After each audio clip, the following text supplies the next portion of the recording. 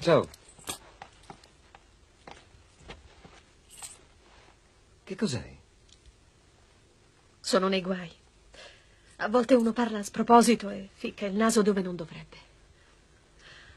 È colpa mia se ci sono tutti questi problemi con Molina. Che cosa è successo? Niente, solo che io sapevo dove si era nascosto con Enrica. E? E l'ho detto. Non per denunciarlo, senza nessuna cattiveria. L'ho semplicemente raccontato a Eleonora e sembra che sia scappato di bocca anche a lei.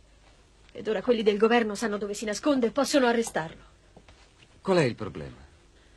Il problema è che io sono nei guai fino al collo, capisci? Perché gli uomini di Molina avranno già saputo che sono stata io a denunciarlo. Lui ha giurato che me l'avrebbe fatta pagare. Ho una paura terribile della sua vendetta. Perché se quell'uomo dice una cosa, stai certo che prima o poi la farà. Vedi, io lo so, ne sono sicura che questa storia non finirà così. Io, io lo sento che mi succederà presto qualche cosa. Ma che dici, Elisa?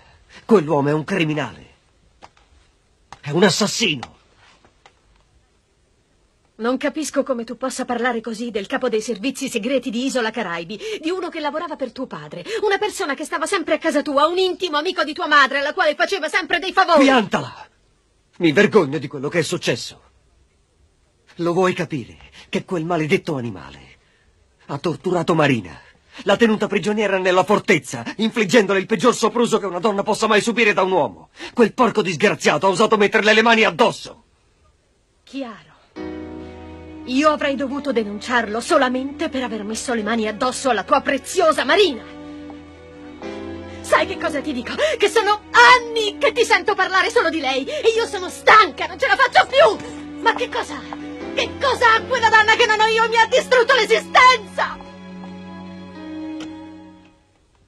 Come sarebbe a dire che Marina stava proteggendo quell'uomo? Ti ripeto che, come ti ho detto, Enrico, ti giuro, era lei che gli portava sempre da mangiare.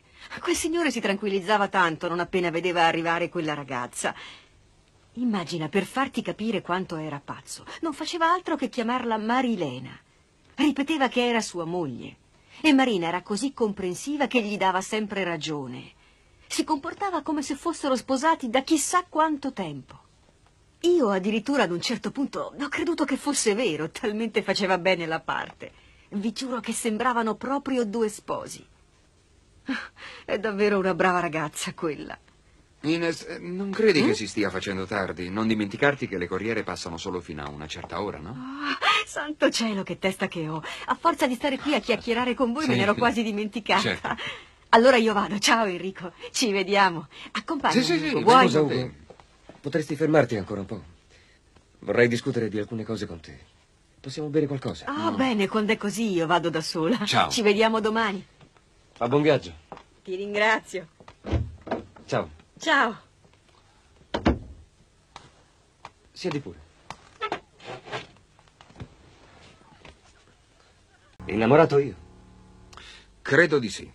Tu sei innamorato pazzo di Marina Contrevi. Si parla sempre d'amore quando si beve troppo. Senti Enrico, non sono nato ieri. Si vede subito. Sì, è vero. Sono innamorato di lei. Non so che farci. Hm. Dai retta a me, amico mio. Ti sei cacciato in un pasticcio terribile, perché sono come, come due poli elettrici opposti. Tu lo sai che Tania è innamorata di te. Hm. Lascia che ti racconti una cosa. L'altro giorno Tania e Marina hanno avuto una discussione negli uffici lì al centro d'assistenza che, insomma, beh, immagina, sembra che sia stato per un pettegolezzo su di te e Tania. Almeno credo, non ne sono molto sicuro, però è certo che sono quasi arrivate al punto di picchiarsi. Tania ha un brutto carattere, vero? Senti, non la conosco, però non credo. Quello che penso è che lei deve avere avuto un passato molto difficile. Ma dietro a questo suo carattere duro c'è una donna dolce, piena di paure. Ah, certo, per essere testarda, è testarda. Su questo non ho alcun dubbio. Quando si innamora di una persona, è la fine. E tu sei la persona su cui si è fissata quella ragazza. Non posso farci niente.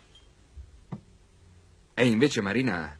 Eh già, Marina è ben diversa. A me sembra... che sia una donna talmente buona, affettuosa. Non crederlo, Ugo. A me ha fatto molto male. Non puoi immaginare quanto. Però è vero.